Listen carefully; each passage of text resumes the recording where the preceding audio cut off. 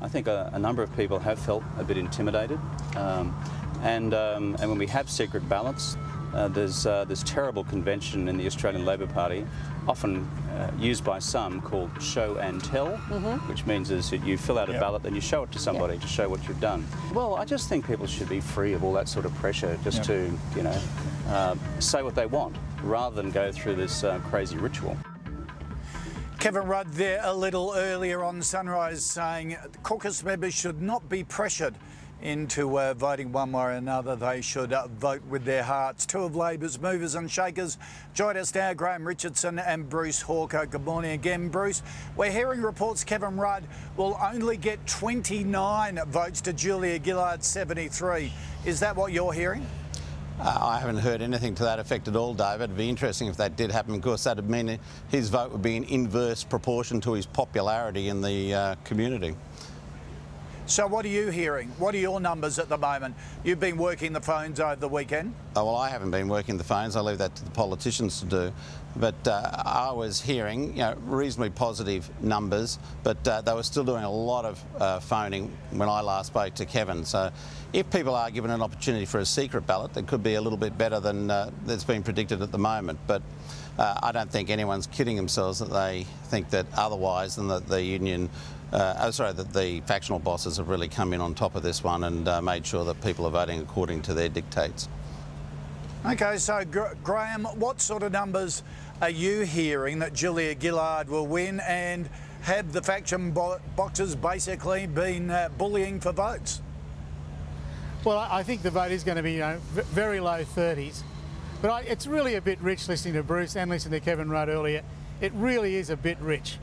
When Kevin Rudd got up, when Kevin Rudd beat Kim Beazley, I didn't hear anyone saying there shouldn't be a show and tell. Certainly not Kevin Rudd, because he needed it and he got it. And now, because it's not convenient, oh, aren't these things terrible? You've got to be a bit consistent and you can't simply be a hypocrite all your life. Occasionally, you've got to admit to what's going on around you. I think it's really sad that all this is coming up. Every faction, by the way, is split. There's no point in having a, a, a show and tell in the New South Wales right. I know of at least six that are voting for Kevin Rudd. It's the same in both factions of the left. It's the same in the Victorian right. No faction is delivering everybody. Those sort of days are gone and gone forever.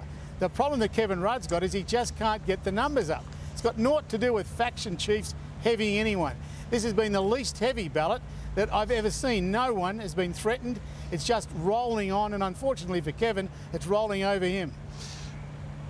Well, Uh, Bruce, Kevin, sorry, Bruce. I was just going to say uh, on that, uh, you know, we know there have been instances of people actually having their pre-selections threatened in this contest. Look, no one is going to be like a lemming walking over a cliff if they're not being pushed, and that's the uh, the problem that a lot of these people have got now. Anyone on a margin of less than 10% is in deep, deep trouble. We could lose 30 seats at the next election unless Julia Gillard gets a big bump in the polls in the coming weeks and months if she does win the ballot today.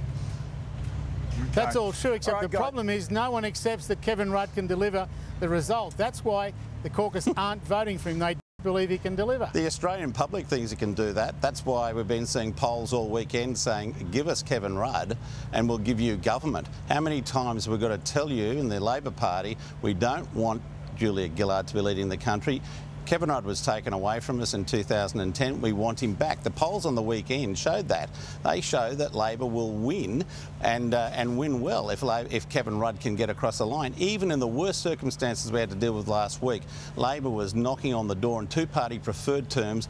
When the question was asked if Kevin Rudd was leading the uh, the party, would you vote Labor? Uh, you know that's the overwhelming view of the electorate right now.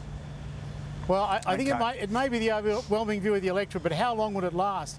That's the problem the caucus have wrestled with.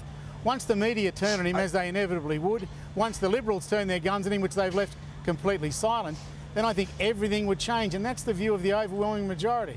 Well, uh, Overwhelming in that uh, the- caucus, and it's, it's not going to All right, change, gents. Bruce. uh, well, All right, Jets, I'll have to call call time on this round. You'll get a chance for another round a little later. For now, thanks for joining us.